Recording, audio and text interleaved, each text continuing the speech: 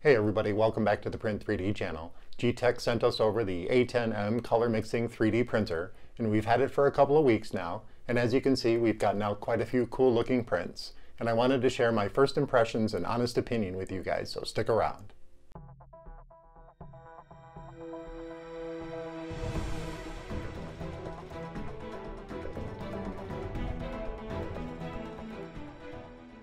Hey everybody, welcome back, and thank you for joining me here on the Print 3D channel. As I was saying in the introduction, Geeetech sent us over the A10M Color Mixing 3D printer, and we've had it for quite a few weeks now, and I've had a chance to really dial in my settings and get out some really great prints, and I wanted to share my first impressions and honest opinion with you guys.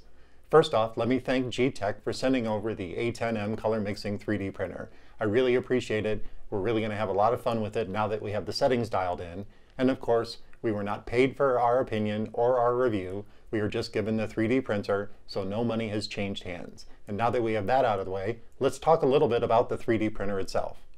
If you remember, in September we did our unboxing video, and you can watch that here. And it was actually a really easy assembly, and we were off and printing in no time. Once we got our settings dialed in, we were able to get out some really great prints. Now this printer is a color mixing printer. It doesn't have independent extruders. It has a Y connection down in the hot end that takes both pieces of filament and fuses them together at certain points. That's for the color mixing. Now if you want to use it as a two color printer, you're going to really have to dial in your settings and really get those retraction settings proper because it does do a lot of stringing because of the way this is set up. But as far as color mixing goes, it's an awesome printer. Now this printer features a 220 by 220 by 260 millimeter build volume, which is actually a pretty good size build volume considering the size of the printer. It has a very small footprint. It has all metal construction. I haven't found any real 3D printed parts on there. There are some acrylic and some injection molded parts, but all in all, it's a metal construction printer. And it's actually very sturdy and I've had no issues with Z-wobble. So the construction on the printer itself is really, really good. The printer also features a nice heated bed with the Geeetech silicon carbide glass on it. And it also has the print surface on it that's really good for adhering prints. So once it cools down, they just fall off the print bed, which is really, really nice. And having the heated bed is really nice, especially if you're going to use this printer for a two-color printer and you want to run some sort of support material through the other side, which would probably be very tricky, but I'm sure you could dial it in with the proper settings. It also has an active part cooling fan, and there's a 360 degree cooling on the hot end itself. It doesn't have any kind of silicone sock or any kind of insulation on it, but with that kind of cooling, you're going to get consistent temperatures. The filament is driven into the hot end through a dual extruder system using Bowden tubes. At the top of the cross member are two large NEMA motors that drive in with a 3 to 1 gear ratio, which really gives a good bite on the filament and is guaranteed to drive the filament down to the hot end and really hold on to the filament during heavy retraction settings. Along with those dual drive systems at the top cross member are dual filament sensors, which can be enacted through the LCD. The printer also features an LCD with a very large knob, which is easy to move through all the different menus of the Marlin system that came installed on this printer. There's also a reset button should you have to reset your printer, which is very nice. And another benefit to this printer is the power supply has a built-in fuse system and an on-off switch, and is available for UK and US voltage. There's also a few other options available if you should order the printer through Geeetech, which includes a bed level sensor and a Wi-Fi module. Now the printers came stock without those two options, but I would probably add those at a future date. And again, the printer was very easy to assemble. It went together without any problems, and we were up and printing in no time. One of the highlight features of this 3D printer is the fact that it's a color mixing printer. Like I said previously, two independent filaments come down into a Y connector into the hot end and mix the filaments together. Again, you can also use this for a two-color printer as long as you have your settings dialed in very, very good because there is an issue with retraction with that kind of setup in the hot end. Now the color mixing app that's available through Geeetech's forum is a really cool option too. If you don't want to have to set up the color mixing template, which is available through the LCD, you can download their color mixing app, generate your G-code, and run it through this system. What's really cool about this is you can add different levels of color mix throughout and create bands and all kinds of cool designs. Once you have it all set up, you just hit the color mix button and export out your G-code, put it on your SD card and send it over to the printer. This is a very handy little app to have on your desktop to accompany whatever slicer you're using to create your G-code, and it really does a good job with the color mixing. You can also use the color mixing template, which is featured in the LCD. Now this is a bit of a challenge to get working properly. You have to put in the exact measurements of your model that you're going to print into the model's template settings. The first thing I would do is set up how much of the filament you want to blend. And I usually go from 0 to 100%. And in this example, we're just going to show you that it's pretty easy to set up. Then you go over to the template size in the template size of the model and you put your start and end code that you want the colors to start mixing in. Now it's important to note that if you don't put in the right measurements, it will not work. But when it does work, it produces some very beautiful results. And I found that the color mixing template is really easy to use with any G code you have as long as it's set up for at least the A10 or A10M 3D printer. And it's my understanding that there's some new firmware available through Geeetech's GitHub site, and I'll put that link down in the description, that includes some new settings and some new ways to do color mixing, and a little bit more precise movements through the menus, and some new menu options as well. Check that out. I think it's available now. And like I said, you can use this as a two-color printer, but you're going to really have to dial in your retraction settings because of the way the filament is fed into the hot end. Now, when I originally started using it, I was using the original version of Simplify 3D, and recently they've updated it to a newer version that has some upgrades to the multi-material printing, and I believe that solves some of the problem. I think the biggest issue was is the original purge tower in Simplify 3D was too small, and you weren't able to purge the nozzle enough. But now with this new version, I'm getting some really clean prints in a two-color version off a color mixing extruder. So you could use this as a two-color printer if you really got your settings dialed in. And like I said, I was able to get some really great results, and I'm anxious to try some larger scale models. The only caveat is, is that it sometimes doubles or even triples the print time because you are using a purge block. And it does have to print something on that purge block for every single layer of the model, no matter what. So overall, there are three different ways you can use this color mixing 3D printer. You can generate your own G-code and bring it into the color mixing app from Geeetech and export out new code which has the color mixing settings built in. Or you can bring over straight G-code to the printer and use the color mixing template built into the printer. Or you can dial in your settings and use this as a two-color printer. So there's quite a few options available for this printer, and I think that's pretty unique, and it's a whole lot of fun. Now that we know everything about the printer itself, let's talk about the prints that we're able to produce from this really cool color mixing printer. As usual, there are a couple of test models included with the Geeetech printer. One of them is the color mixing dog. Now we did have a little bit of issue on the chin, but overall I think the color mixing aspect of the print turned out awesome, and the print quality itself is very, very good. The next model is the safety cone. Now this is also a multicolor print, but in this instance, the filament actually just changes color and keeps printing, so there's a little bit of a blend between each layer or each color on the cone itself. And that print turned out really, really good. There's no purge on this one. The other model that's included on the SD card is a two-color lizard, which has a purge block. And that actually turned out pretty good. There is a little bit of color bleed. I believe that the color block could have been a little larger. But overall, the print quality is really, really good. So it was time to move forward using my own settings. Now, a good friend of mine, Calvin, over at Make It with Calvin, sent over some settings that he had started with on his A10M printer, and I started using that as my base settings in Simplify 3D to work up to where we are now. Plus, there's been an upgrade to Simplify 3D, which I believe helped out a little bit. So once I got those settings dialed in to my liking, I started printing. The first thing I tried to do is color mixing, because I found that to be the most attractive part of this printer because you can really do some artful style color prints. So I started with the gear vase, one of my own designs, and I'll have the links to everything that we used in our review here down in the description so you guys can check out those models yourself. But the color mixing on this turned out excellent. I was very happy with the results. We are using two different colors of AMZ 3D filament, and the blends between the two colors is just spectacular. I was very, very happy with the way this looked, and I was anxious to try a couple other different things. In between that, I was also still trying to dial in my two color settings, and I managed to get out a dice print. Now, there is a lot of color bleed between the two models itself, between the purge tower and the dice itself, but I was pretty happy that the two color aspect was starting to work. Now, there was a lot of stringing between the two models or between the purge tower and the model itself, so I knew I had to dial in my retraction settings even more. But I moved on to another color mixing print because I wanted to use the template itself and that was the low poly rose twist vase. And this is one of my favorite prints to do on any printer because it's a vase mode print, plus it looks really beautiful once it's printed.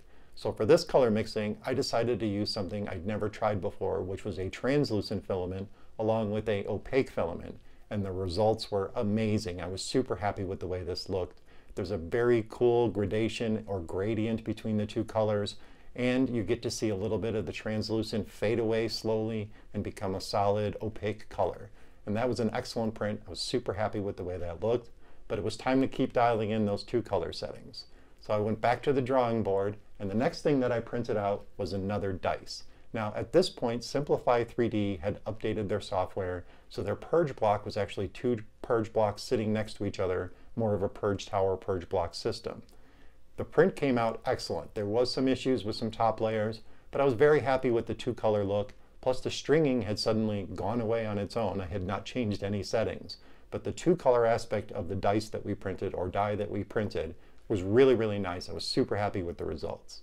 But I still love that color mixing, so I switched back to another color mixing print.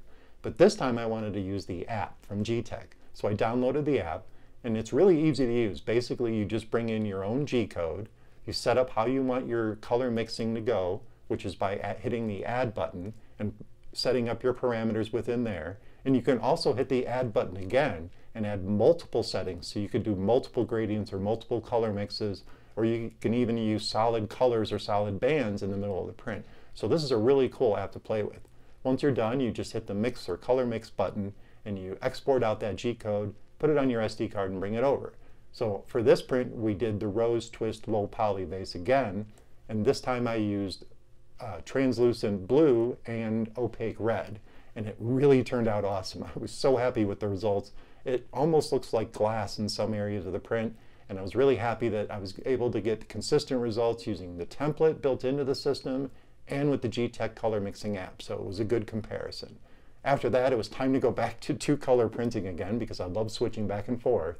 And the next model that I printed out was a multicolor traffic cone. And the multicolor traffic cone turned out awesome. It was a much longer print. I think it was about eight hours to print this small traffic cone. But it turned out excellent. The print quality looks really, really good. There's no bleed between the colors. And the new settings in Simplify 3D with the dual purge tower or purge block really helps clean out the colors between the, between the layers. And I was very happy with the way that looked, so it was time to go back to color mixing again.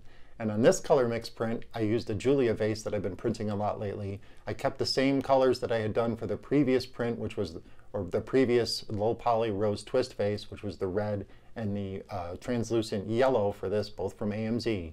And I set that to print. Now, this took about five hours, five and a half hours to print, and the results were stunning. I think this is one of the coolest features of the printer. You really get some really clean color gradation and color mixes between the colors. And I think using the color mixing app and dialing in multiple settings throughout the print would really add some artistic flair to every model. But this print turned out really great. I'm super happy with the results. And it was time to move on to one more two color print. And for the final two color model that we printed out, it's the Cali Cat. Now I normally print this out in a single color because it's a great calibration item. But I found a two color version posted up on Thingiverse. And again, for everything that we are showing in this review, I'll put those links down in the description so you guys can check those models out yourself. But this print turned out really good. I'm super happy with the results. There was a small issue near the top of the head where the two colors meet. They didn't quite fuse together properly. Now I've been running a calibration cube and seeing the same issue, but I think it has something to do with the heated bed, a small model, and the fact that there is a little bit of shrinkage that happens with PLA over long periods of time with a lot of heat. But the print itself, it turned out great. I am happy with the results.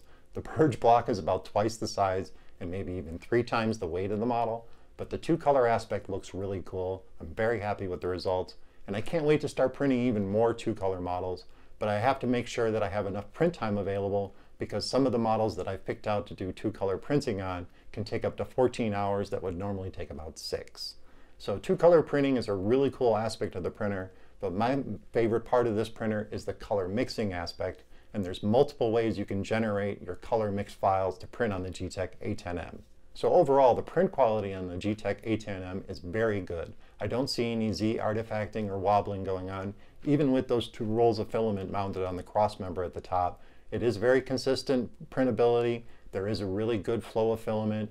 This Y connector in the extruder, I've had to clean it twice just to make sure it was clean, but I know you can run some cleaning filament through there and just take care while, while loading your filament up and you won't have as many issues. But it is a little bit of a challenge to load up if you're going to use two color printing. If you're just doing the color mixing, you can just load the filaments up, do a purge for each side of the nozzle or each color, and then start printing and the color mixing looks really great.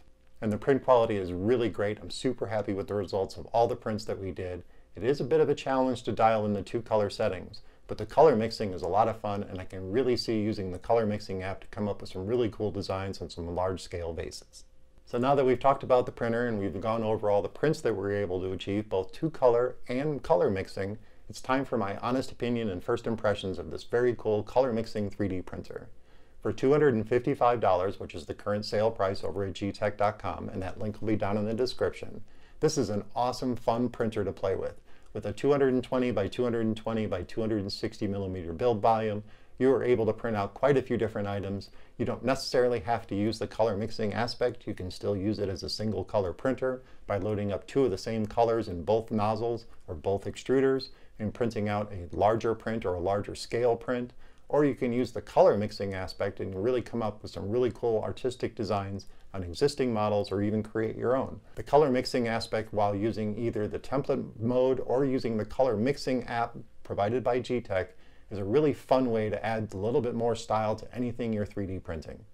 If you really dial in your settings, this is an excellent two-color printer. Now you will have to consume a little bit more filament and the print times are going to increase, but once you get some really great results and your settings are dialed in very, very good, you're going to get some really cool two-color or multi-material, if you really dial in your settings, from this 3D printer. I highly recommend the Geeetech A10M color mixing printer because it's a lot of fun, it's super easy to assemble, and the results from the prints are really great. And with the dual drive system with that 3 to 1 gear ratio, you should be able to print any kind of material with this 3D printer. And if you dial in your settings for the two color aspect, you could probably achieve some really great prints using all kinds of models that would require dissolvable support materials or different colors. So overall, I think that the Geeetech A10M 3D printer is a great value for the money. If you're looking to add some artistic flair to existing models or some of your models of your own, the color mixing aspect is a really cool part of the printer. If you dial in your settings for two color printing, it's an excellent starter printer for doing multi-material or multi-color printing. It's a good way to get your feet wet for under $300. So I highly recommend the Geeetech A10M color mixing 3D printer if you're looking to add a little artistic flair to some of your prints or if you're really looking to get started in multicolor or multi-material printing, this is the printer for you. At under $300, you can't go wrong with the Geeetech A10M Color Mixing 3D printer. Well, that about wraps it up for my honest opinion and first impressions of the Geeetech A10M Color Mixing 3D printer. A huge shout out and thank you to Geeetech for sending over the printer to, for us to test and review. It's been a lot of fun dialing in our settings for the two color and really creating some cool models using the color mixing aspect. So thank you, Geeetech. If you guys found this episode interesting and informative and you're looking for ways to support the channel, check out that Patreon link and all the other affiliate links down in the description. All the models that we printed out will also be available down in the description, along with links to Geeetech's website and where you can download the newest version of their firmware and check out the color mixing app. And as always, don't forget to subscribe to the channel, comment, like, and share those videos, and I'll talk to you guys soon.